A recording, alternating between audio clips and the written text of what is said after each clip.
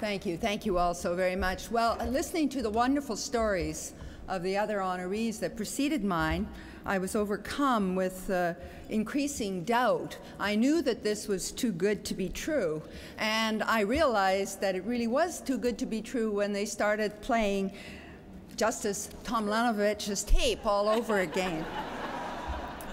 but fortunately, it has proved true, and I find myself enormously honored and indeed humbled to stand here before you today. I want to begin with brief thanks. Words cannot express what I owe to others. I, of course, want to thank first and foremost the Commission and the American Bar Association for this award but also for everything they are doing to advance the position of women in society and in the law. I want to thank the many mentors who have helped me throughout my career, who believed in me when I did not believe in myself sometimes. I want to thank the people who have taken a chance on me, including a couple of prime ministers from time to time. And I particularly want to thank my family. Uh, my parents have passed on, and, but I want to thank most sincerely the two husbands who have supported me successively, I must say, in my uh, career. My first husband, who passed away much too soon, inspired me to become a lawyer when I did not so much as dream that that was a real possibility, and supported me throughout those early difficult years.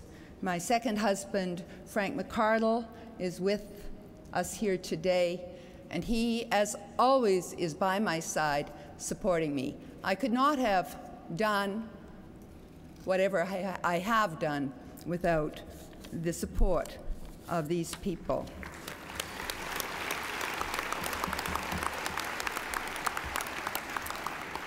Well, when I was told that I was going to get this award, I, of course, like others, read a little bit about Margaret Brent, and she is indeed a formidable person the first woman attorney of America in 1638 or thereabouts.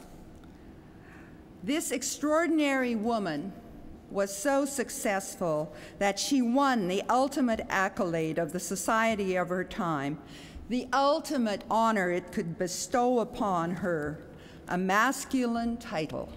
She was addressed, I read, as Gentleman Margaret Brent. I'm glad that we live in a time when women can be addressed by titles suitable to their own gender. Well, the story of Margaret Brent is inspiring, and yet I found it a little discouraging. It was inspiring to me because it told me, it shows that women can succeed, women can do anything they want, women can work for their society in any way they want.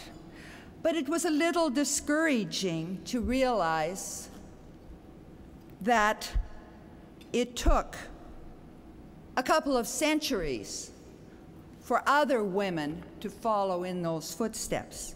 Margaret Brent died in 1671. It took another 200 years for American women to become admitted to state bars and to begin practicing law.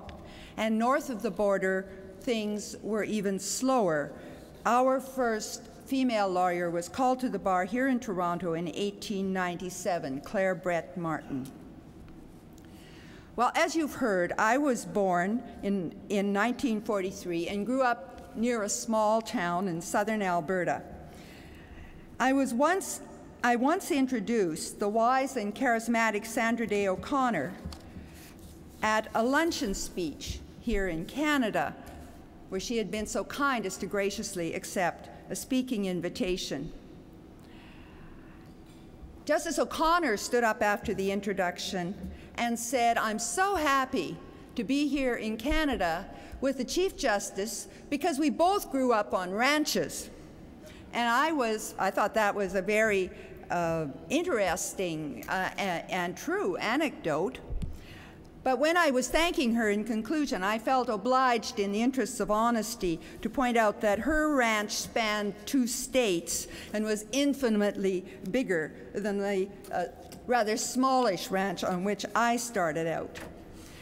Well, Sandra Day O'Connor broke trail before me, and my generation owes her an enormous debt. And there was a lot of very hard, parched, century packed trail to be broken. The expectation as I was growing up was that women would fulfill their lives and their destiny on the domestic scene. Most would marry and remain within a home, and those who didn't uh, were often uh, condemned to live their days out as spinster aunts. There might be a little teaching, perhaps some nursing or secretarial work, but women's options were few, their choices virtually nil. But then things slowly began to change. A new idea, one that could not be stopped, began to take hold. Like great, all great ideas, it was a simple idea. It was the idea the conviction, if I may say so, that women, like men, should be able to choose what they do with their lives. My choice was the law. There were only a few women in our law class. And people often ask, what was it like in the late 60s, early 70s for women seeking to practice law? Well, the answer is not entirely easy. Law school wasn't so difficult, but making, finding a place in the practice of law required a bit more effort. I went for my first interview for articles with a very good firm, and the senior lawyer and I had a great time. I thought the interview had gone swimmingly until the very end when he looked at me and he said, Why do you want to work? Well, I didn't know what to say. I was completely dumbfounded. I had spent seven years of my life getting to this point, and he was asking me why I wanted to work. He must have sensed my consternation because he very kindly explained, Well, you are married, aren't you? And then it dawned on me that, in his mind at least, this brilliant, enlightened, leading lawyer, as I saw him, a married woman should not work.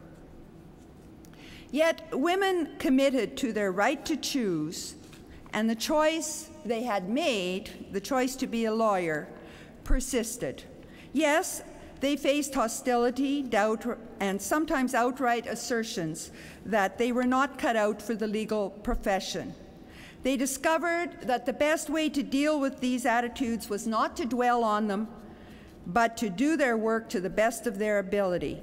Move on get the job done, something women have always known how to do.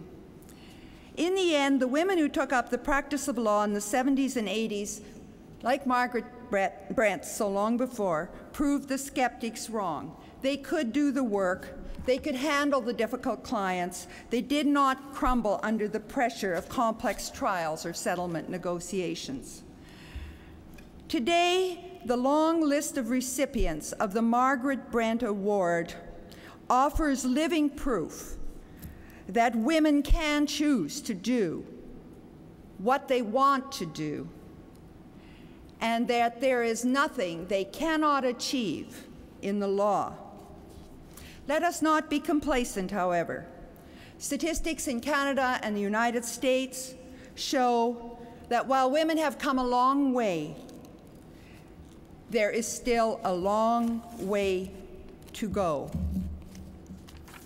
If we care about gender equality, it is of utmost importance that we strive in both our countries to increase the number of women in significant positions. I'd like to just briefly close with three reasons why I think it's important. First, it's important to give those young women coming up role models, and I think the young men too. Having women in prominent positions in the bar, on the bench, in our corporations sends a message to girls who are trying to imagine what they will do with their life, that they do have a choice, that they can be whatever they want to be, contribute to society in whatever way they wish. That society and the law will no longer, as it once did, stand in their way. Second, helping women succeed and succeed in greater numbers brings diverse perspectives to the practice of law, to the business of judging. Toronto's Globe and Mail recently reported, speaking more generally of women in corporate world, that having different perspectives around the table makes good business sense. Diverse teams support innovation and help companies mirror and serve a diverse marketplace. Well, women are 51% of the population, and that 51% has their special and particular experiences and wisdom, wisdom that they can bring, perspectives that they can bring to the organizations and the institutions that they work with. All of this enriches society, makes the process better.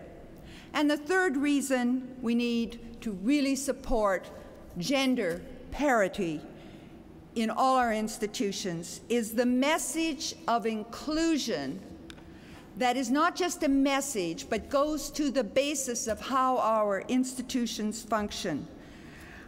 The presence of women, for example, in a country's highest court, high other institutions, signals to other women and minorities that they're welcome in those institutions. This was brought home to me by an experience I had when I was a trial judge. It was a very slow afternoon, and a domestic divorce case came before me.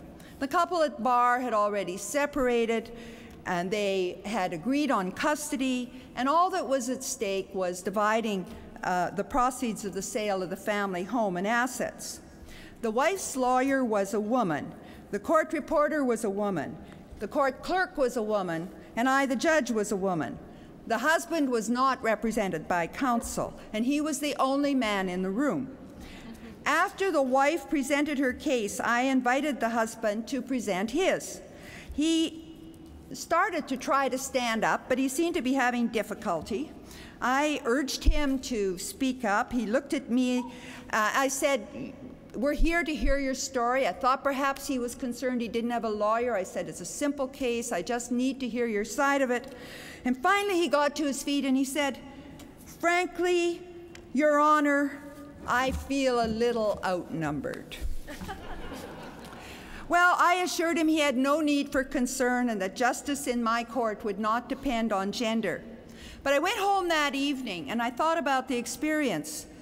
And I reflected on this. How many women over the centuries had stood like that man, if they were allowed to stand at all, before galleries composed entirely of men? How many women, how often, had felt outnumbered and not just a little? By increasing the participation of women and indeed all underrepresented segments of our societies in law, business, and politics, we will eventually reach the point where full participation becomes the norm. No one will then feel outnumbered simply on account of her gender, race, religion, or orientation. This must be our ultimate goal. In conclusion, I would like once again to extend my congratulations to my co-recipients and my thanks to the Commission and the American Bar Association for this magnificent honor uh, which you bestow on me today. Je vous remercie encore une fois d'un grand honneur qui m'est fait. Merci beaucoup.